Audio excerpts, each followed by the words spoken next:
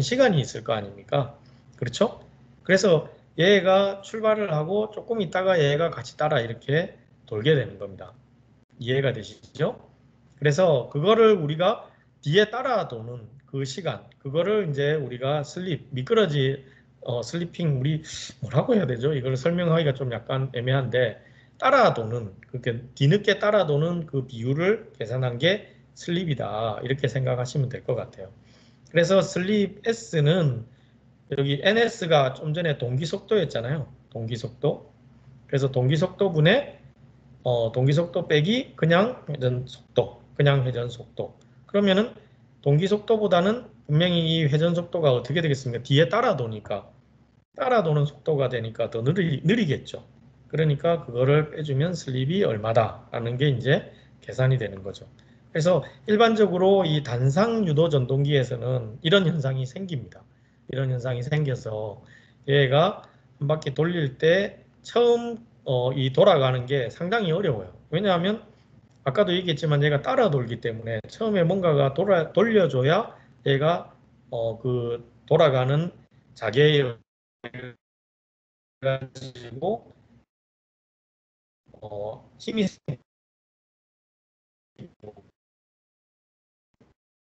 그 힘이 생기는 걸 우리가 전동기의 축 로터에 이렇게 있는 슬립에 대한 어, 이야기가 어, 문제 자주 출제가 되니까 여러분들이 좀 기억을 해주시면 좋을 것 같아요. 자, 그 다음에 이제 94페이지로 넘어가 보겠습니다. 좀 더 이제 그림을 이쁘게 그려놨는데 이 그림을 보면서 어, 이해를 하시는 게 훨씬 더 좋을 것 같아요. 아까 이제 이미 그 구조에 대해서는 두 가지가 있었잖아요. 바깥에 고정자가 있었죠. 여기서 이제 고정자 여기 그림에 있습니다. 그래서 요 고정자의 요 아랫부분에 해당되는 것들이죠. 이렇게 생겼어요. 이렇게 생겼고 요 가운데에 축, 축 해가지고 이제 로터라고 부르죠. 로터.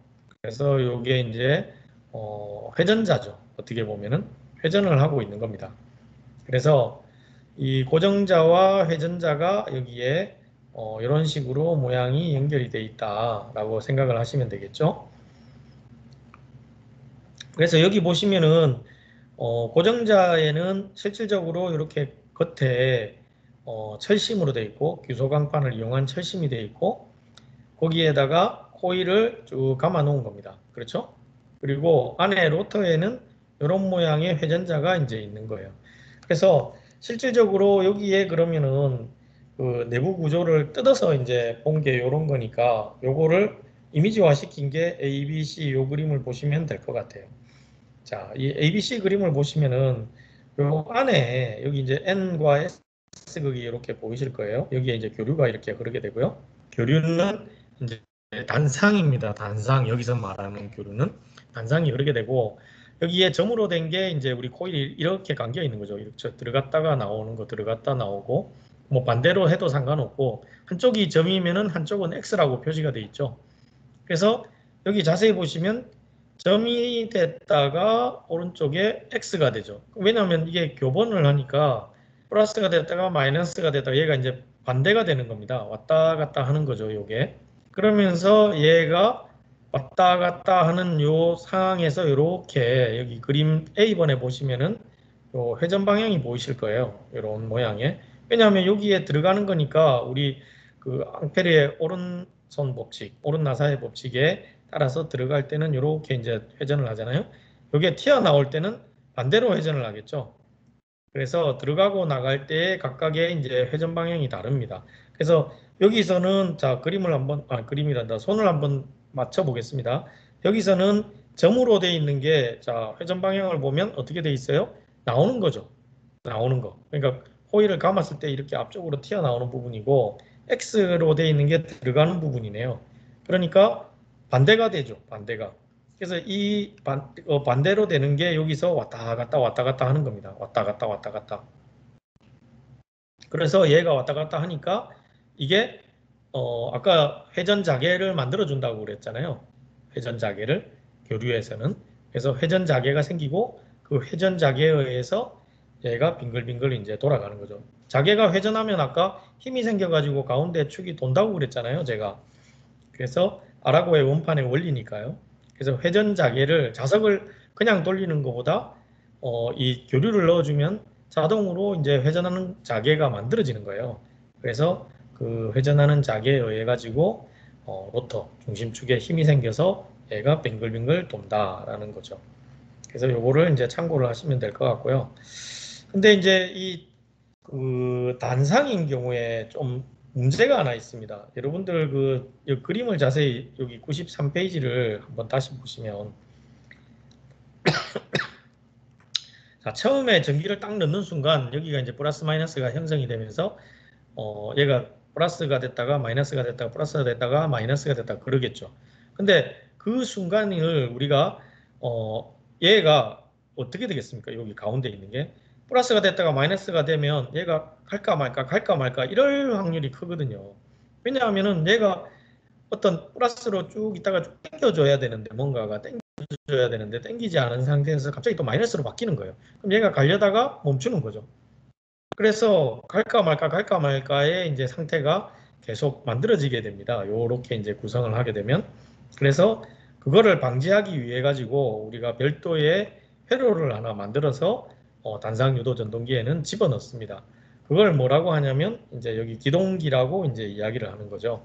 그래서 기동기라는 거를 여기다가 이제 집어넣게 되면은 어, 초기에 어, 예를 들면은 위상을 90도만큼 늦춘다든지 또는 90도만큼 땡긴다든지 하는 그런 효과를 여기다가 만들어줘서 그 효과에 의해서 얘가 어, 처음에 갈까 말까 갈까 말까 하는 현상을 없애주는 겁니다. 그게 무슨 말이냐면 어, 여러분들 그 기억하실지 모르겠는데 우리 전기 일반 수업할 때 콘덴서를 집어넣으면 어떻게 됐습니까? 미상이 90도만큼 앞서고 인덕터를 회로에 집어넣으면 90도만큼 지연돼서 사인파가 만들어졌었죠. 그거 아마 기억나실 겁니다. 그래서 앞쪽에 기억 안 나시는 분들은 전기 일반의 RLC 할 때 그쪽을 쭉 참고를 해보시면 그렇게 그림이 그려져 있을 거예요. 그래서 처음에 이 콘덴서 여기 보면 컨덴서 기동형 모터라고 이제 컨덴서 컨덴서 컨덴서 이렇게 쭉 되어 있잖아요. 그리고 어, shading 코일형 코일은 이제 인덕터가 되겠어요. 그래서 여기는 코일이 이제 들어 있는 거죠. 그렇죠? 코일이. 그래서 코일을 가지고 이용하든지 컨덴서를 가지고 이용하든지 어쨌든 위상을 처음에 약간 틀어놓는 겁니다. 90도만큼. 틀어놓으면은 이게 정위상 플러스 마이너스가 아니잖아요. 그래서 90도만큼 틀어져 있기 때문에 그게 어, 순간적으로 전기를 넣는 순간 이쪽에서 90도만큼 틈만큼을 지연을 시키든 아니면 먼저 가게 해서 순간적으로 얘가 탁 돌게 이제 만들어 주는 거죠. 그래서 위상을 약간 바꾼다고 생각하시면 돼요. 위상을 조절을 해서 그래서 컨덴서를 넣든지 아니면 코일을 집어넣든지 그 두 가지 방법이 이제 가장 많이 쓰입니다. 그래서 일반적으로 제일 많이 쓰이는 방법은 이제 콘덴서를 하나 집어넣는 겁니다. 콘덴서를 집어넣게 되면은 그 콘덴서에서 90도만큼 위상을 앞선 위상을 만들어내게 되고 그 앞선 위상 때문에 플러스 마이너스 즉 이제 180도로 왔다 갔다 하는 것을 방지하게 되는 거죠. 처음에 기동을 할 때. 스타트를 할 때 그래서 그거를 이제 우리가 일반적으로 콘덴서 기동형이다 해서 뭐 콘덴서를 삽입하는 게 되겠습니다. 그래서 여기 보면 종류가 이렇게 쭉 나와 있고 오른쪽에 이제 기동 토크 해가지고 특징이 나와 있어요. 특징들이 그래서 보통 이제 우리가 어 나중에 이제 제가 시험 관련해서 이제 또 뭐 문제가 나온다고 가정하고 어 어떤 식으로 문제가 나오느냐 하면은 제일 아래쪽에 여기 이렇게 빨간색 쳐놨죠. 그래서 빨간색 쳐놓은 걸 한번 읽어보면 기동 토크의 크기 순서. 기동 토크라는 게 뭡니까? 얼만큼 순간적으로 힘을 탁 주느냐죠. 순간적으로 힘을 탁 주느냐. 그래서 이 기동 토크가 크면 클수록 어떻게 되겠습니까? 전동기가 큰 거, 그러니까 무겁고 큰 거, 부하가 큰 게 달려 있을 때는 어떻게 해야 돼요? 힘을 순간적으로 많이 줘야 얘가 핑 돌 거 아닙니까? 그렇죠? 근데 부하가 그렇게 뭐 무겁거나 크지 않은 그런 부하가 달려 있을 때는 굳이 기동 토크를 크게 만들 이유가 없죠. 기동 토크를 크게 만든다는 것은 그만큼의 에너지 손실을 줘야 돼요. 어딘가에서는. 그렇기 때문에 어, 여기에 용도에 맞춰서 이제 우리가 쓰게 됩니다. 그래서 여기 보시면 기동 토크 크기 순서에서 뭐 제일 큰 게 이제 반발 기동형, 그 다음에 반발 유도형, 그 다음에 콘덴서 기동형, 분산 기동형, shading 코일형 뭐 이렇게 돼 있죠. 그래서 시험에 만약에 여러분들이 이제 출제를 한다라고 가정하면 사실은 제가 아까 뭐라고 그랬냐면 콘덴서를 집어넣는 게 제일 간단하다고 그랬죠. 그래서 제일 일반적으로 많이 쓰는 게 콘덴서를 하나 집어넣는 겁니다. 회로에다가. 그런데 그거는 이제 많이 쓰는 게 그런 거고 시험 문제는 뭐 많이 쓰고 적게 쓰고 이게 문제가 아니고 이렇게 나오겠죠. 콘덴서의 아, 기동 토크의 크기가 제일 큰 것은 또는 제일 작은 것은 보통은 이제 그렇게 나옵니다. 그러면은 여러분들이 기억하셔야 될 게 반발 기동형 제일 큰 거죠. 그 다음에 shading 코일형 이게 제일 작은 거예요. 중간이 이제 콘덴서 기동형 그렇게 이제 그 기동 토크가 차이가 나는 겁니다. 그래서 여기에 나와 있는 요 순서 요게 시험에 아주 잘 나와요. 그래서 여러분들이 어, 여기 나와 있는 것들은 조금 나중에 시험 치시기 전에 한번 어, 꼭 확인하시고 시험을 치러 가셔야 된다. 그 얘기를 이제 드리고 싶습니다. 그리고 여기 여러분들 이게 단상 유도 전동기 있잖아요. 단상 유도 전동기. 단상 유도 전동기에 가장 일반적인 게 우리 주위에서 볼 수 있는 게 뭔 것 같아요? 어, 혹시 뭐 어떤 게 있는지 아시는 분 있나요? 학교 오면은 천장에 달려 있는데 예, 아시는 분 좀 댓글을 한번 달아주시겠어요? 천장에 뭐 달려 있잖아요. 우리 더울 때 키는 거.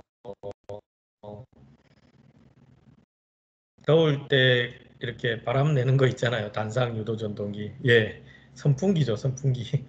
예. 아마 다음에 대변 수업 한다고 오시면은 현장을 한번 보십시오. 거기에 가장 대표적인 어, 단상 전동기가 달려 있습니다. 단상 유도 전동기가 달려 있고 그게 바로 선풍기다라고 생각하시면 될 것 같아요. 그 선풍기는 교류를 쓰잖아요. 직류를 쓰는 게 아닙니다. 지금 우리 천장에 달려 있는 거. 가정에서 쓰는 선풍기도 어, 다 교류 선풍기죠. 그리고 제가 아까 요즘 나오는 이제 DC 팬이 달린 거, DC 어, 배터리가 달린 어, 전동기가 있다고 그랬는데 그런 것들을 제외하고 우리가 알고 있는 선풍기는 대부분 다 어, 단상 유도 전동기가 달려 있는 거예요. 그러면은 그 선풍기도 마찬가지죠. 처음에 220V를 꽂아요. 그러면은 어, 신호가 사인파가 이제 거기에 인가가 되겠죠. 60Hz의 신호가 이제 들어가게 됩니다. 그러면은 처음에 딱 이런 그 커패시터나 코일이 안, 안 달려 있는 경우에는 갈까 말까 갈까 말까를 고민하게 되는 겁니다. 그래서 일반적으로 컨덴서가 무조건 달려 있어요. 그래서 선풍기를 이제 취미, 취미생활로 이런 거 전자제품 뜯어보는 걸 좋아하시는 분들은 뜯어보시면은 뒤에 이제 아까 보셨던 고정자와 중간에 회전자가 보이실 거고 거기에 회로가 조그만한 게 이제 달려 있는데 그 회로에 커피 시터가 또 들어 있어요. 근데 가끔 가다가 웬만해서는 선풍기가 고장은 안 나잖아요. 우리 집에서 저도 지금 한 10년 넘게 쓴 선풍기를 그냥 쓰고 있는데 어, 여러분들 아마 집에 있는 선풍기 중에 고장 나는 경우가 별로 없을 겁니다. 왜냐하면 고장 날 부위가 별로 없어요. 제가 아까 얘기 드렸지만 어, 예를 들어서 물에 잠기거나 우리 그 가끔 가다가 수해 나가지고 물에 잠기는 경우 있잖아요. 그럴 때는 그 꺼내서 깨끗하게 씻어서 다시 쓸 수 있습니다. 그게 뭐 고장나는 건 아니고요. 그 물에 잠겼기 때문에 부식이 돼서 그 단락이 생기는 거죠. 쇼트가 생겨서 이제 감전이 되거나 이제 그렇게 되는 겁니다. 그런 경우를 제외하면은 고장 나는 경우는 딱 하나밖에 없습니다. 뭐냐면 이 기동 콘덴서가 고장이 나는 거죠. 보통 우리 전자제품이라고 하면 전자제품에 수명이 있었는데 우리 사람도 마찬가지잖아요. 사람이 나이가 드는 걸 우리가 에이징 된다고 그러잖아요. 에이징. 그 나이가 드는 거예요. 에이지가 나이니까 영어로 에이징 하면 이제 나이가 드는 걸 이야기하는 겁니다. 그러면 여러분들 뭐 여자분들 남자들은 사실 별로 신경을 안 쓰는데 어, 뭐 요즘은 어떨지 모르겠어요. 저 같은 경우는 별로 신경을 안 쓰는데 여자분들은 나이 드는 거를 이제 얼굴에 많이 드러나잖아요. 남자도 그렇지만 남자들은 뭐 신경을 안 쓴다고 가정하고 여자분들은 그런 것들을 막기 위해서 뭐 화장품 많이 바르시잖아요. 나이가 좀 안 들어 보이게. 그 화장품이 이름이 뭡니까? anti-aging이죠. Anti-aging. 그러니까 나이 들어 보이지 않는 거예요. 안티 에이징. 그래서 안티 에이징 관련된 화장품들은 보통 이제 한 40대 이후부터는 뭐 눈가라든지 뭐 저도 그렇지만 여기 이제 뭐 팔자주름이라든지 뭐 이런 것들이 나이가 들면서 사람이 이제 노화가 되는 거죠. aging 돼서. 그래서 그거를 이제 방지하기 위해서 안티 에이징 화장품을 이제 사서 바르시게 되는 거죠. 근데 이 전자 부품들도 마찬가지입니다. 전자 부품이 평균 수명이라는 게 있어요. 그래서 보통 이제 우리가 많이 쓰는 그 RLC 그 다음에 제가 어제 어, 어제 어제였죠. RLC, 다이오드, 트랜지스터 이 다섯 가지는 무조건 여러분들이 기억하셔야 된다고 제가 얘기 드렸는데 R과 L과 C는 그래도 고장이 잘 안 나고 오래 쓸 수 있는 거예요. 근데 다이오드나 트랜지스터 같은 이런 이제 반도체 소자들은 평균 수명이 한 10년 정도 됩니다. 그래서 보통 우리가 예전에 뭐 이런 광고 들어보신 적 있는지 모르겠는데 뭐 이 카더라 같은 이야기입니다. 그 순간의 선택이 10년을 좌우한다. 옛날에 금성사에서 TV 팔때 어, 금성사가 요즘 LG죠. 럭키 금성에서 LG로 바뀌었습니다. 그래서 그 금성사에서 이제 TV 선전할 때 순간의 선택이 10년을 좌우한다. 그래서 보통 한 5년 이상 10년 정도 되면 그 우리가 이렇게 전자제품 중에 반도체 부품들이 고장이 나는 경우가 상당히 많아요. 상당히 많고 그리고 이제 나중에 여러분들도 한번 해보시겠지만 땜질이라는 걸 하거든요. 그 인두기라는 걸 써서 그 전자 부품을 어, 그 판에다가 붙이잖아요. 회로 판에다가 붙이게 되는데 그거를 이제 납을 이용해서 붙이게 됩니다. 근데 그 납이 땜질을 한번 하게 되면 그 한 납 부위가 그것도 한 5년 10년 지나면 부식이 돼요. 부식이 되거나 이렇게 떨어집니다. 그래서 보통 이제 한 10년 정도 되면 TV나 이런 것들이 서서히 이제 고장이 나기 시작하는 거죠. 그래서 어 우리 이제 고장 나면 그걸 고치기 위해서 가져가면 보통 이제 그쪽 고치는 쪽에서 하는 일의 대부분은 어, 떤 부위가 고장 났는지는 사실 바로 알 수가 있어요. 전기가 안 들어오든지 뭐 화면이 안 나오든지 금방 보이잖아요. 그러면 제일 먼저 하는 거는 전원회로부터 이제 찾는 거죠. 전기가 안 들어가니까 전원회로에 문제가 있을 것이다 해서 거기서부터 찾아 들어갑니다. 그러면 자주 고장나는 부위가 또 다 나와 있어요. 그게 이제 매뉴얼화돼 있고. 그래서 제가 여기 그 학생들 이렇게 이력사항을 보니까 그 CS 쪽에 근무하신 분들도 있던데 아마 그런 분들은 잘 아실 겁니다. 그래서 어떤 고장이 있다 그러면 금방 이제 그걸 찾을 수가 있죠. 그래서 여기 선풍기 같은 경우는 콘덴서가 이제 그런 고장의 주요 원인입니다. 그래서 물에 잠기거나 또는 이제 부식이 되거나 우리 습한 곳에서 사용하는 경우죠. 그리고 또 오래 쓰거나 그러면은 컨덴서라는 게 어, 여러 종류가 있겠지만은 어쨌든 그게 수명이 좀 빨리 닳아요. 그래서 에이징이 돼 버리는 거죠. 나이 들어 버리는 거죠. 나이 들어서 이걸 이제 교체를 해줘야 됩니다. 그래서 사실은 선풍기가 동작이 안 된다. 그래서 뜯어보면 거의 뭐 절반 이상은 그 컨덴서가 고장이 난 부분이에요. 그래서 그것만 하나, 그거 뭐 한 10원, 20원 하거든요. 그거 바꿔주면 그냥 고치는 거죠. 그래서 이제 우리가 수리할 때는 그런 식으로 고장을 고칠 수 있다라는 겁니다. 그래서 이게 어 일반 어 단상 유도 전동기 같은 경우는 어 아까도 제가 얘기 드렸지만 고장이 잘 나지는 않는데 이런 부가적인 회로들 때문에 고장이 생길 수 있다라는 거를 어 참고를 해주시면 좋을 것 같아요. 자, 단상까지는 그래도 좀 수월했습니다. 단상은 사실은 상이 하나잖아요. 그 파형이 하나가 들어가기 때문에 좀 수월했는데 여기 이제 96페이지에 보시는 삼상 유도 전동기라는 게 이제 나옵니다. 삼상. 그래서 이게 삼상은 우리가 이제 주로 대전력이 필요한 곳에 이제 사용한다고 제가 오전에 얘기 드렸던 것 같아요. 그래서 어, 여기 이제 학교에도 제가 어제도 그랬지만 배전반이라는 게 있는데 그 배전반을 열어보면 어, 전기가 이제 삼상으로 다 이 건물에 들어와 있을 겁니다. 들어와 있고 그리고 그 중에서 선을 뽑아서 우리 네 가닥을 뽑아서 어, 연결을 하게 되면 삼상 어, 구조를 이제 만들 수가 있어요. 단상은 거기서 두 가닥을 이제 뽑아서 쓰는 거죠. 뭐 접지 포함하면 이제 세 가닥이 될 수도 있습니다. 그래서 이 삼상인 경우에 구조가 뭐 아무래도 이제 선을 이제 연결하는 개수도 많고 그 다음에 그 선이 고정돼야 되는 그 부분도 좀 복잡하게 돼 있어요. 그래서 어, 큰 구조는 바뀌는 게 없습니다. 가쪽에 이제 고정자가 있을 것이고 가운데에 축 로터가 있는 건 똑같아요. 그거는 전동기는 다 그렇게 구조가 돼 있지 않습니까?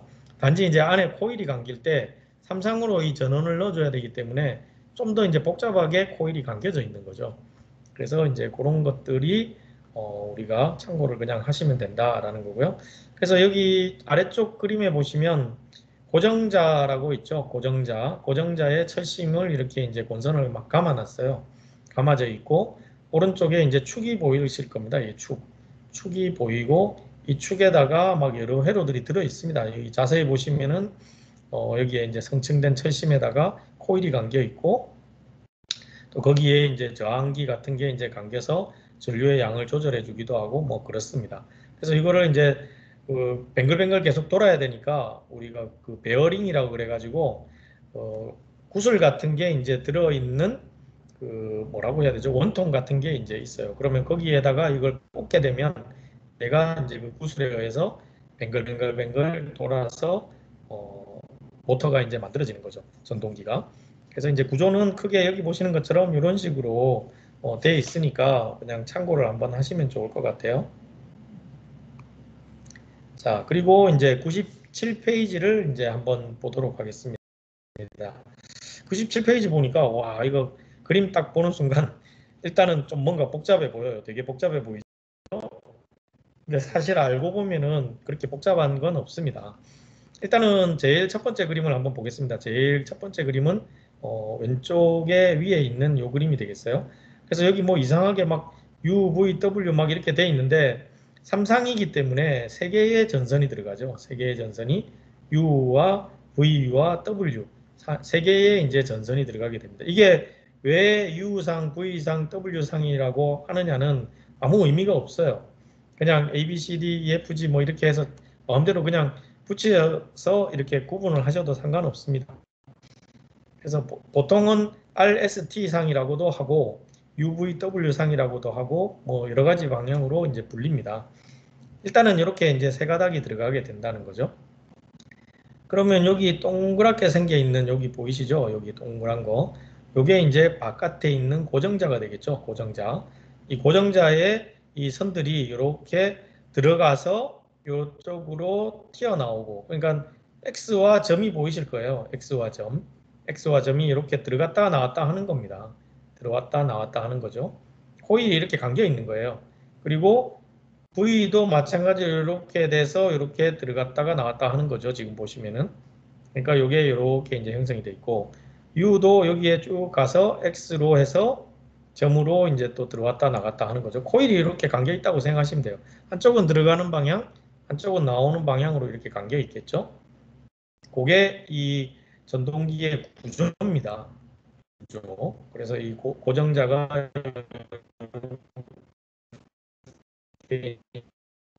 이제 그래서 이게 쭉 연결이 되어 있고 여기다가 전기를 UVW를 딱 넣는 순간 여기 오른쪽 A번 그림 있죠. 삼상전류 파형의 진행 방향 이렇게 되어 있습니다. 그래서 여기 보시면 첫 번째 U상이 이렇게 이제 형성이 돼요. 그렇죠? 이렇게 형성된다고 하면 V상은 이렇게 또 형성이 됩니다. 그리고 W상은 요, 여기서 또 이렇게 형성이 되죠. 그러니까 삼상이 이렇게 상이 만들어지는 겁니다. 서로 간에 상이 120도 간격으로 틀어져서 세 개의 신호가 합성돼서 만들어지는 거죠. 그래서 실제로 요 삼상은 세 가닥의 전선에 각각의 신호가 흐르게 되는데 각각 120도, 우리 360도잖아요. 한, 한 바퀴 도는 게. 그래서 120도 간격으로 이렇게 틀어져서 어, 진행을 하고 있는 모양이다라고 이제 생각을 하시면 되겠죠. 그래서 요 삼상 같은 경우는 우리가 그냥 흔히 전봇대에 보시면은 선이 이렇게 지나가잖아요. 그게 전부 다 삼상으로 이제 들어가는 겁니다. 그래서 어, 제가 전봇대에 어, 그 연결되어 있는 전압이 삼상으로 22,900V가 흐른다고 제가 얘기 드렸던 것 같아요. 그래서 22,900V의 삼상 전기가 이렇게 어, 120도 간격으로 파형을 만들면서 이제 들어간다라고 생각하시면 되겠죠. 그래서 여기 이제 그 왼쪽 위에 있는 이 그림을 좀 단순화시켜서 선을 다 없애버리고 B번 그림처럼 이제 만든 게요 B번이에요. 그러니까 이게 뭐냐면 B번 그림에 보시면 들어오고 나가는 게 이제 쌍이 있죠. 아까 여기에 X와 점이 이렇게 쌍이잖아요. 그래서 여기도 자세히 보시면 위쪽에 X가 3개, 아래쪽이 3개가 있는데 각각 대칭이 되는 쪽이 들어오고 나가는 걸로 코일이 감겨 있는 겁니다. 그렇게 생각하시면 되겠죠. 들어오고 나가고 들어오고 나가고 그래서 이 각각 그 위에 3개, 아래쪽에 3개가 있는데 위에 3개의 대칭이 되는 점이 어, 들어오고 나가고 하는 거다라고 이제 생각을 하시면 될 것 같아요. 그래서 최초에는 전기를 딱 넣는 순간 최초에는 이렇게 되어 있습니다. 그래서 이게 이제 1번이죠. 1번. 그 아래쪽 B번 그림에 1번이 T 이꼴 T1이잖아요. 최초의 어, 그 점입니다. 최초의 선. 그래서 이때 어, 오른쪽에 있는 그림을 한번 보시면 XXX 그 다음에 점점점 이렇게 되어 있는 거 보이시죠? 그, 그게 이제 오른쪽 그림에 T1에 해당되는 그림을 보시면 회전 자개가 만들어지죠. 이렇게 회전 자개가 이제 생겼어요. 위쪽은. 아래쪽은 반대로 생기죠. 요거는 우리가 어, 앙페르의 오른나사 법칙에 의해서 이렇게 만들어진다고 제가 얘기 드렸습니다. 손 모양을 오른손으로 들어가고 나가는 거 사람 몸에서 어, 몸으로 들어오는 거 바깥으로 나가는 걸 한번 생각해 보시면 회전 방향이 틀리죠. 반대가 되는 겁니다. 그래서 하나는 이렇게 들어오고 하나는 이렇게 들어오죠. 이렇게 회전을 하는 겁니다. 지금 보시면은. 그래서 전체로 회전 방향은 이렇게 모양이 나가요. 그렇죠? 힘은 이렇게 나가겠죠. 왜냐하면 이렇게 돌고 이렇게 도니까 힘이 이렇게 지금 미치는 거죠. T1일 때. 자, 그 다음에 이게 이제 T1이에요. 여기 그 A번 그림의 T1에 해당되는 부분입니다. 그래서 요게 요 세 가지 그림으로 보시면 될 것 같고요. 그 다음에 이제 시간이 또 흘렀어요. 시간 오메가 t가 이제 흘러서 t, t2가 되는 겁니다. 여기 t2가 되고 t2일 때는 어떻게 되냐면 요 x가 하나씩 옆으로 이동을 했죠. xx가 이 b번 그림에 보시면 어, xx가 이쪽으로 이동을 했습니다. 그리고 점점점도 한 칸씩 이제 이동을 했죠. 그래서 요, 요 각만큼 이제 딱딱딱 이동을 하는 겁니다. 그래서 요만큼 이동을 했는데 그러다 보니까 회전자계가 어떻게 형성이 됐어요? 아까 이렇게 도는 게 약간 기울어졌죠. 그래서 요게 요 모양이었다가 옆으로 살짝 누웠어요. 바로 이제 그 옆에 그림을 보시면 되겠습니다. 그 다음에 B번에 T3를 보시면 또 이제 한 칸을 더 이동하게 되는 거죠. 한 칸을 더 이동하게 돼서 X가 옆으로 이제 다시 이제 이동을 하게 됩니다. 옆으로 다시 이동을 해서 점도 마찬가지로 한 칸씩 이동을 하는 거죠. 그 과정이 계속 이렇게 반복이 되는 거예요. T1에서부터 T6까지가 한 주기로 해서 그러면 T6 다음에는 다시 또 처음으로 돌아가는 거죠. 그렇죠? 다시 또 처음으로 돼서 T1으로 또 가는 겁니다.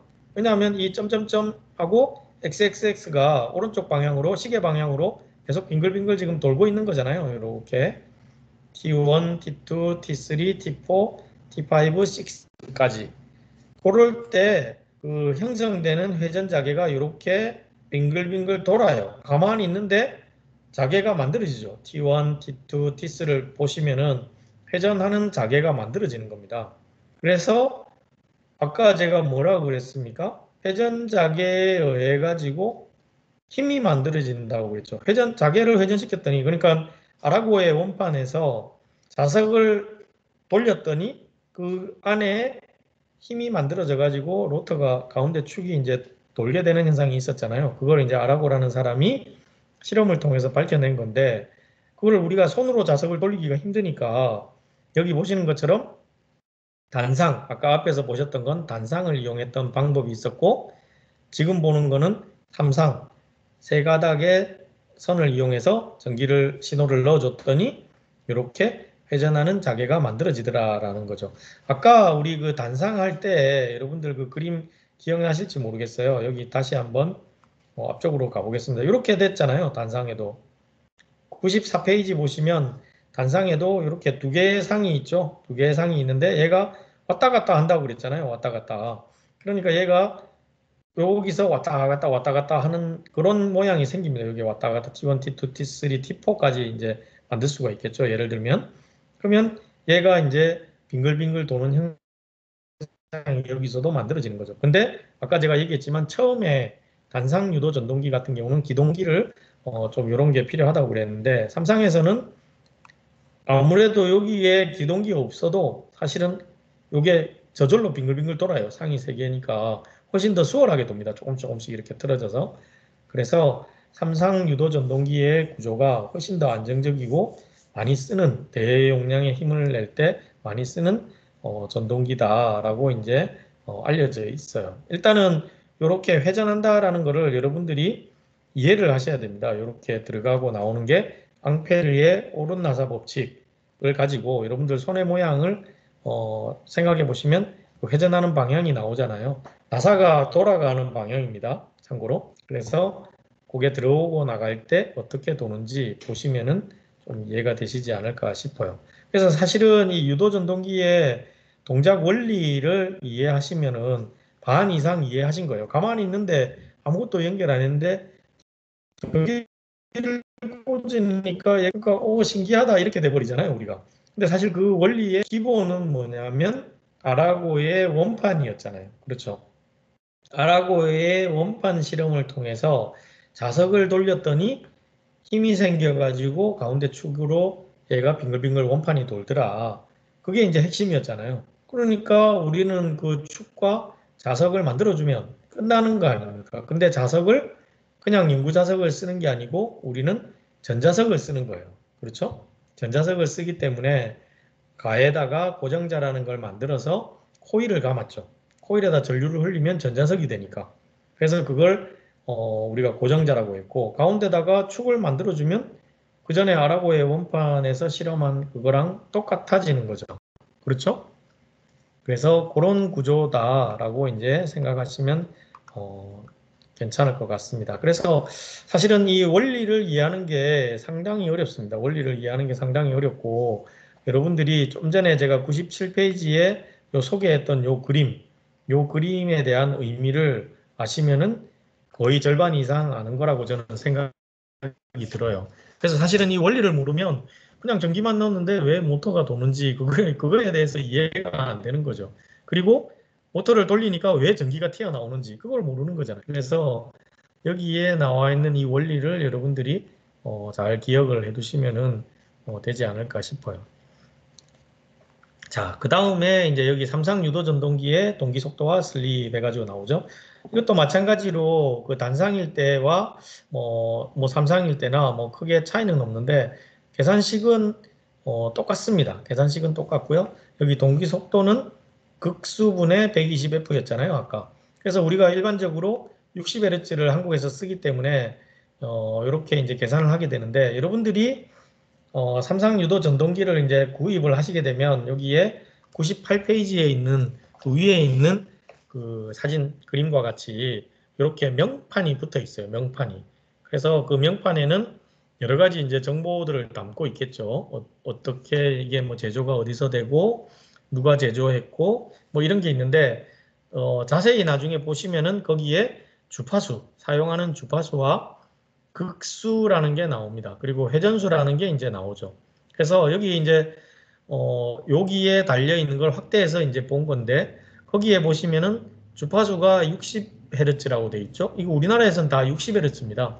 그럼 여러분들이 어 이거 뭐 우리나라 다 60Hz인데 왜 이걸 표기하지라고 생각하시는 분이 있을 거예요. 근데 예를 들면 우리나라에서 일본에 가서 사용한다고 한번 생각해 보세요. 50Hz잖아요.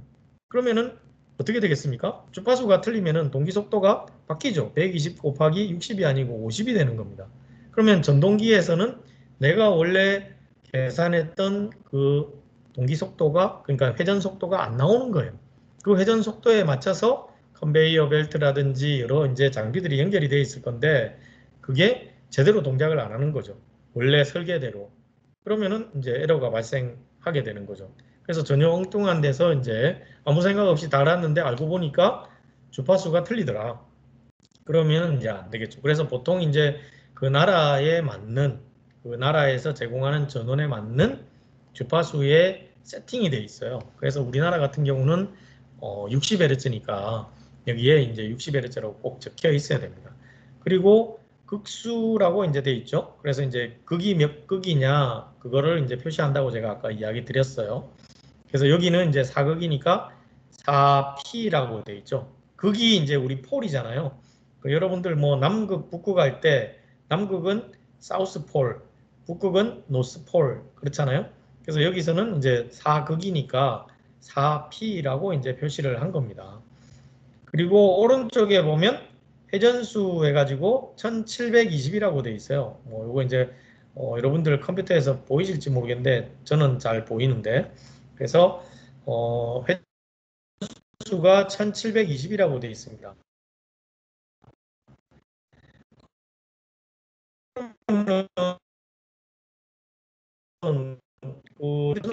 100이잖아요. 그래서 계산을 해보니까 4분의 120 곱하기 60에서 1800이 나와야 됩니다. 그렇죠?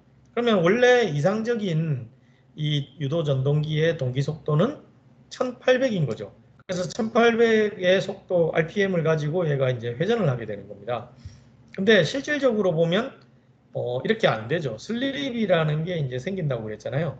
그래서 일반적으로 이 동기 속도에 비해서 어, 돌아가는 회전수가 표시가 돼 있어요. 그러면 이제 슬립이 계산이 되겠죠. 그래서 아까 그 슬립 S는 어, 동기속도분의 동기속도 빼기 회전수 그냥 동기속도 말고 그냥 회전수를 이제 계산을 해주면 그 슬립율이 나오게 됩니다. 그래서 여기 보면 회전수가 1720이라고 주어졌잖아요. 그래서 어, 슬립 이꼴 동기속도가 1800이었고 1800분의 1800 빼기 1720 곱하기 이제 그 퍼센트니까 100 해주면 4.4% 정도의 이제 슬립률이 계산이 되는 겁니다. 그래서 문제를 푸실 때 어, 이렇게 이제 푸시는 거예요. 그래서 이게 주어집니다. 주파수가 얼마, 극수가 얼마, 회전수가 얼마일 때 슬립은 얼마인가.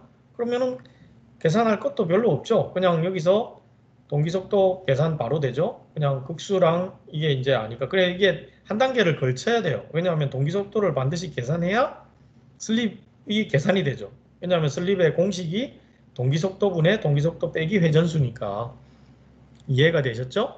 그래서 요 각각의 값을 우리가 집어넣게 되면 바로 이제 계산이 되는 겁니다. 그래서 뭐 그렇게 어렵지 않은 계산인 것 같아요. 제가 생각할 때는. 그래서 보통 이 값들이 거의 다 주어지기 때문에 여러분들이 시험 치실 때는 어 이런 식으로 어 하시면 되지 않을까 생각이 듭니다. 자, 그러면은 이 슬립이 의미하는 게 뭔가를 이제 우리가 한번 생각을 해볼게요. 슬립이라는 게 아까 뒤에 따라 도는 그 현상, 뒤에 따라 도는 그런 문제를 이제 표시한다라고 제가 얘기를 드렸는데 이게 만약에 정지가 되어 있거나 동기 속도랑 같을 때는 슬립이 얼마인가를 보면 이제 쉽게 알 수가 있어요. 그래서 왼쪽에 보면 동기 속도분의 2차 회전자 속도잖아요. 그러니까 동기 속도는 뭐냐면 어, 이 극수랑 이 고정자에서 이 회전을 만들어낼 때 돌아가는 그 속도입니다. 그렇죠? 고정자에서. 그러니까 얘는 1800으로 도는 거예요. 아까 여기에 1800으로 돌고 있는데 실제로 가운데 축은 1800으로 도는 게 아니죠. 1720이니까 조금 늦게 도는 거잖아요. 그래서 그거를 이제 2차 회전자 속도라고 이제 그냥 우리 이제 일반적으로는 회전자 속도라고 이제 많이 표시를 합니다. 그래서 그만큼 효율이 어떻게 되는 거예요? 4.4%만큼 이게 떨어지는 거죠. 그렇잖아요. 1800만큼 돌면은 100%잖아요. 효율이. 그렇지만 S가 4.4%니까 슬립이 생겼단 말이에요. 1720만큼 도는 거죠. 그러니까 그 나머지는 뭡니까? 결국은 손실 팩터라고 볼 수 있는 거죠. 그래서 여기에 보면 이런 말이 있습니다. 정지 상태일 때 그러면 손실이 뭐냐? 아, 정지 상태일 때의 슬립은 뭐냐? 그럼 정지니까 S 어, 회전을 안 하는 거잖아요. 회전을 안 하니까 회전 속도는 없죠. 회전을 안 하니까 0이죠. 그러니까 정지 상태일 때는 동기 속도만 남으니까 두 개를 짝짝 하면 1이 되는 거죠. 그렇죠? 그리고 동기 속도일 때의 슬립은 뭐냐 하면 동기속도분의 동기속도 빼기 동기속도니까 이게 0이 분자가 0이 되는 거잖아요. 그럼 그냥 0인 거죠. 분자가 0이 되니까. 그러니까 동기 속도랑 똑같이 돌면은 슬립은 0이 되는 거죠. 그냥 동기 속도 이꼴 그 회전 속도니까 동기 속도 이꼴 회전 속도면은 슬립은 없다. 그렇게 되는 거죠. 근데 정지 상태 멈춰 있을 때는 회전을 안 하니까 0이 되는 거니까 어, 이감은 뭘 의미하겠어요? 제가 아까 얘기 드렸잖아요. 손실이 점점, 점점 커져가지고 얘가 어, 100을 넣었는데 100을 다 못 쓰고 나머지는 다 이제 딴 데로 가고 천천히 돌아버리는 거죠. 내가 돌렸는데 손실이 이제 커져가지고 그만큼 천천히 돈다라고 이제 생각을 하시면 됩니다. 그래서 여기 나오는 것처럼 어, 동기 속도일 때의 슬립 이런 게 또 시험에 한 번씩 나와요. 그러면 왠지 동기 속도의 슬립이라고 하니까 1인 것 같거든요. 1인 것 같단 말이죠. 근데 실제로는 0인 거죠. 0. 그렇죠? 왜냐하면 또 이걸 회전 속도기 때문에 계산해 보면 바로 이제 0이 되는 겁니다. 그리고 역회전을 한다. 뭐 사실 이거는 뭐 잘 나오는 건 아닌데 이럴 일이 있겠습니까? 제가 잘 모르겠지만 이렇게 역회전을 하는 경우는 나오는데 일단 어쨌든 역회전을 한다 마이너스 ns가 되잖아요. 그러니까 당연히 2가 되죠. 근데 실질적으로는 물리적으로는 이런 현상은 생기지를 않겠죠. 전기를 넣었는데 이게 거꾸로 돈다? 그럼 말이 안 되는 거잖아요. 그래서 원래 이 슬립은 그래서 슬립의 값은 어디서부터 어디다? 0부터 1 사이의 값으로 존재하는 거죠. 그렇죠? 0, 최대가 1이고 최소가 0이죠. 그러니까 0에서 1 사이의 값을 가진다라고 이제 생각하시면 되겠습니다. 그래서 이렇게 이제 전동기를 다음에 혹시라도 어, 삼상 유도 전동기를 보시면 이렇게 표기가 다 되어 있습니다. 명판이라고 그러는데 이런 표가 붙어 있죠. 자기 태그 꼬리표 여기에 이제 이렇게 다 표시가 되어 있으니까 그거 보시면서 한번 계산해 보시는 것도 좋을 것 같아요. 슬립률이 뭐다 하고 이렇게 이제 계산하면 옆에 사람이 이상하게 볼 수도 있겠죠. 자, 그 다음으로 이제 넘어가도록 하겠습니다. 99페이지입니다. 와, 이거 우리 절반 정도 온 것 같아요. 제가 이거 한 200페이지 정도 만든 것 같은데 이제 한 절반 정도 가까워지고 있는 것 같습니다. 자, 삼상 유도 전동기의 기전력과 토크 해가지고 이제 나오죠. 뭐 여러분들 그 제가 기전력 이라는 거 이제 기전력은 잘 아시겠지만 에너지 전기 신호를 이야기하는 겁니다. 전기 신호를 이야기하는 거고 토크는 순간적으로 만들어내는 힘이라고 제가 이야기를 드렸었잖아요. 그래서 어떻게 보면은 이 그 토크가 상당히 중요합니다. 이 전동기에서는 왜냐하면 부하가 연결되어 있는데 순간적으로 내는 힘이 없다, 약하다 그러면 어떻게 되겠어요? 힘이 약한데 그걸 돌릴 수가 있겠습니까? 비실비실비실 돌아가겠죠. 그러면 당연히 뭐 뒤에 연결되어 있는 게 제대로 동작을 안 하게 되겠죠. 그래서 보통 우리가 이 삼상인 경우에 특히나 어, 이, 그 어느 정도 전기를 넣었을 때 어느 정도 토크가 생기는가 이거를 상당히 이제 우리가 중요하게 생각하는 부분입니다. 그래서 일반적으로는 이제 이 수식을 한번 보시면 아시겠는데 여기에 이제 그림 아래쪽에 보면 수식이 있어요. 그렇죠? 수식의 t가 뭐에 이제 비례한다고 되어 있냐면 이 자속이죠, 자속. 파이 1, 파이 2라고 이제 되어 있는데 파이 1과 파이 2의 이런 자속에 비례해서 토크가 커지는 거죠. 그러면 자속이라는 건 뭡니까? 자속이라는 거는 우리가 결국은 거기에 기전력, 즉 이제 전기 에너지를 넣어줬을 때 자성이 이제 발생이 되고 그렇죠? 거기에 자속이 이제 만들어지는 거잖아요. 그러니까 자계가 만들어져서 N극과 S극으로 자속이 이제 생기는 거죠. 그러면은 결국은 토크를 강하게 하려면 자속을 강하게 해주면 비례하는 거니까 자속을 세게 해주면 되는 거 아닙니까? 그렇죠? 자속을 세게 해주려면 그럼 어떻게 해야 돼요? 기전력, 즉 이제 전기의 전류를 많이 흘려줘야 되는 거죠. 많이 흘려줘야 돼요. 그러면 전기를 많이 흘려준다는 게 무슨 의미입니까? 전력 소모가 많은 거죠. 왜냐하면 전력은 뭡니까? P는 V 곱하기 I죠. V 곱하기 I. 근데 여러분들 잘 생각해 보세요.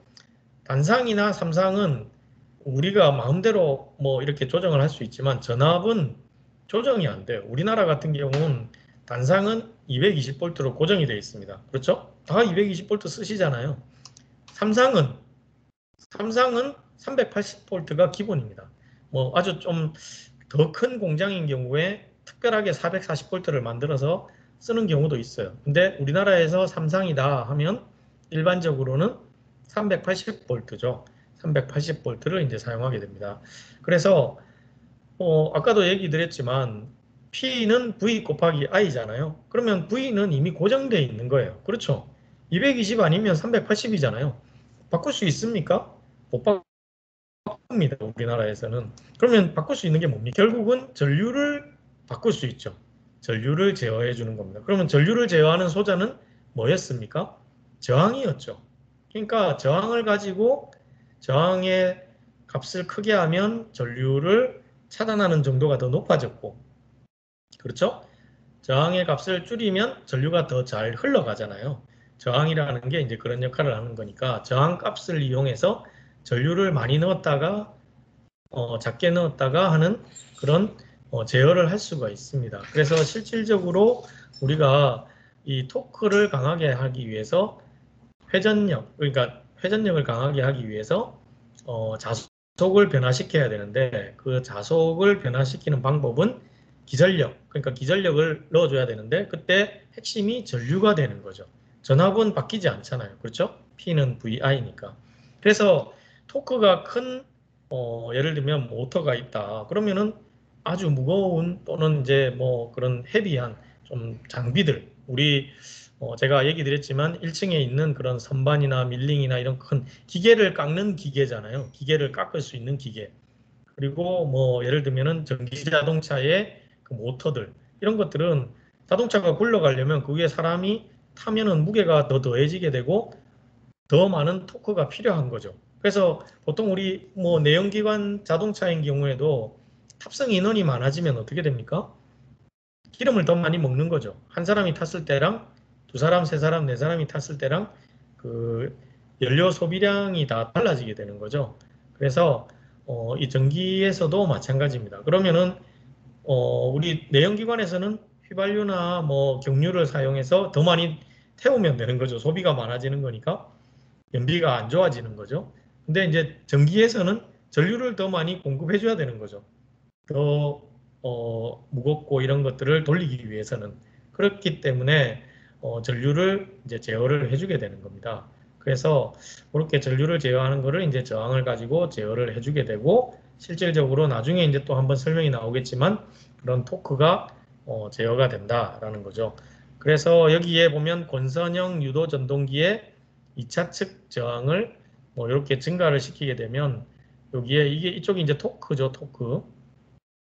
토크가 이제 이렇게 커지고 작아지고 이제 이런 것들을 만들어낼 수 있다라는 거죠. 그래서 실질적으로는 어, 여기에 토크를 제어하기 위해서 어쨌든 자속을 우리가 어, 건드려서 그 자속의 세기를 조정해 줘야 된다라는 것을 이제 기억을 하시면 될 것 같아요.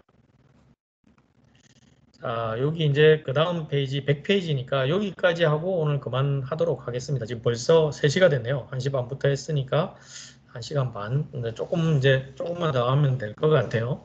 여기에 이제 삼상유도 전동기의 기동 방법 해가지고 나옵니다. 아까 기동 방법 어디서 들어온 것 같잖아요. 기동. 그러니까 동작을 처음에 딱 시키는 방법이에요. 그래서 어, 단상일 때는 어떤 기동 방법이 있었습니까?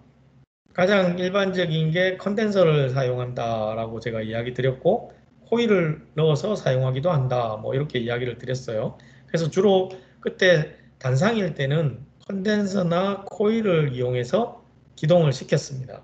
그렇죠? 근데 이제 삼상에서는 여기에 나와 있는 요 표에 있는 것처럼 또 여러 가지 방법이 있어요. 그래서 뭐 전전압, 그다음 Y 델타, 리액터, 1차 저항, soft starter 뭐 이런 것들이 있는데 각각의 기동 방법의 특징들은 여러분들이 한번 읽어보시면 되고 어, 주로 이제 많이 쓰는 것만 제가 하나 얘기 드리면은 Y 델타 방법을 좀 기억해 두시는 게 좋지 않을까 싶어요. 그래서 이제 Y 델타 방법을 어, 우리나라의 어, 어, 우리나라에서 이제 주로 많이 쓰는 삼상 유도 전동기의 방법입니다. 그래서 여기 특징이 뭐라고 되어 있냐면 어, 최대 기동 전류에 의한 전압 강화를 경감시킬 수 있고 그리고 감압 기동기로서는 가장 손쉽게 채용합니다. 그래서 많이 쓰는 거죠. 아까 제가 컨덴서 방식을 좀 많이 쓴다고 이야기 드렸잖아요. 그래서 이 단상에서는 삼상에서는 어, 여기 나오는 것처럼 Y 델터 기동 방법을 많이 쓴다. 그래서 아마 지금 여러분들 Y 델타가 그럼 또 뭐지 이렇게 생각하시는 분들 분명히 계실 거예요. 사실은 어, 이게 이제 수업이 원래 대면 수업을 할 때는 그 다음에 이제 이 변압기라는 걸 하게 되는데 그 변압기에서 이 결선 방법이 나옵니다. 그래서 요거는 이제 Y 델타라는 그 결선 방법이 있어요. 그래서 그거는 어, 우리가 다음 시간에 이제 변압기 하면서 결선 방법을 공부하고 다시 이 부분으로 잠깐 돌아와서 제가 설명을 드리는 게 여러분들 이해가 빠르실 것 같아요. 대부분 근데 교과서들이 어, 강의 자료들이 이 유도 전동기가 먼저 나오고 그 다음에 이제 동기기 또는 변압기가 나오거든요. 그래서 이게 약간 순서상 여러분들이 조금은 이해하기가 힘드실 수는 있을 것 같아요. 그래서 일단은 여기서는 아, Y 델타라는 것들을 아, Y 델타 기동 방법을 주로 많이 쓰는구나 그렇게까지만 음, 이해를 해주시면 될 것 같습니다. 자 오늘 그 딱 100페이지까지 이제 우리가 했는데 어, 사실은 이제 전기기기에서 유도기에 대한 부분을 집중적으로 한 겁니다. 그렇죠? 전기기기에서 유도기에 대한 부분을 집중적으로 한 거고 유도기 중에서 우리가 제일 먼저 배웠던 게 직류기 그렇죠? 직류기를 이제 했었고 그 다음에 우리가 교류기 이렇게 지금 이제 넘어가고 있는 겁니다. 그래서 직류기를 먼저 직류기의 직류 발전기, 직류 전동기를 이제 우리가 배웠던 것 같고 여기 이제 교류기 넘어와서는 우리가 단상이냐 삼상이냐를 가지고 유도 전동기를 이제 배운 겁니다. 그래서 나중에 이제 동기기 할 때는 그 발전기를 또 배울 거예요. 이게 이제 삼상인 경우에는 어, 발전기로 쓰이는 게 주로 어, 동기기고 전동기로 쓰는 게 유도기이기 때문에 이게 약간 구분이 돼 있어요.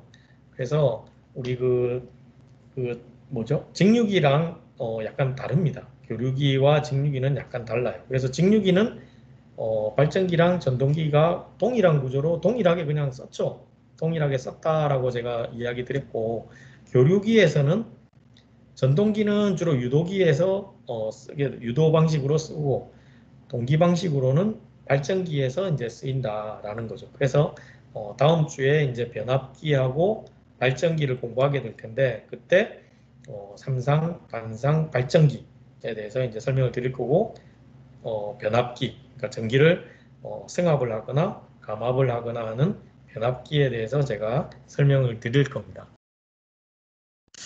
그래서 오늘 좀 많은 내용이 어, 사실은 대면 수업을 하면 조금 더 나을 것 같긴 한데 지금 아마 온라인으로 하면서 여러분들 그 개개인별로 그 컴퓨터 환경에 따라서 이게 접속이 조금 됐다 안 됐다 하는 분들이 있었던 것 같아요. 그래서 아마 이게 지금 어, 녹화를 제가 다 눌러놨기 때문에 어, 녹화가 돼 있을 것 같아요. 여기 홈페이지 아, 여기 팀즈에 들어가시면은 지금 여기 첫 번째 그 게시물에 보시면 지금 전 시간 것도 녹화가 돼 있더라고요. 그래서 필요하신 분은 한번 보시고 어, 또 제가 다음 주에 만약에 이제 대면 수업을 하시게 되면 화요일 날 음, 앞부분에 대해서 간단하게 좀 짧게 설명을 한번 드리고 복습할 수 있는 시간을 드릴 테니까 그거 하고 어, 우리 변압기하고 동기기 쪽으로 넘어가도록 하겠습니다. 사실은 여기 뭐 전기기까지만 여러분들이 잘 따라오시면은 전기 설비 쪽은 대부분 이제 규정과 법규에 관련된 그 법규에 관련된 거거든요. 그래서 제가 설명할 게 많이 없어요. 그냥 대부분 이제 여러분들이 그 규정을 지켜서 우리가 설치를 하고 작업을 해야 되는 그런 내용이기 때문에 어, 개념만 이해하시고 나머지는 암기를 하시는 거예요. 우리 뭐 국사 암기 하듯이 약간 그런 부분입니다. 그거는 이제 규정이기 때문에 우리가 지켜야 되겠죠. 그걸 암기해서. 그래서 이제 그런 식이고 전기 기기까지가 조금 이런 개념 설명이 이제 많이 나오는 부분이니까 어 조금 힘이 드셨더라도 다시 한번 이제 반복 학습을 좀 하셔서 힘이 드시더라도 어 본인이 이해할 수 있도록 하는 게 제일 중요하다고 제가 그랬죠. 남이 이해하는 게 중요한 게 아니고 본인이 잘 이해하실 수 있도록 어, 하시는 게 좋을 것 같아요. 그리고 다음 주에 만약에 되면서 화면은 어, 혹시 궁금하신 거나 좀 어려운 부분이 있다 그러면 그때 다시 한번 이야기하는 걸로 그렇게 어, 하겠습니다. 자, 오늘 수업은 여기까지 하고 어, 다음 주에 뵙도록 하겠습니다. 수고 많으셨습니다.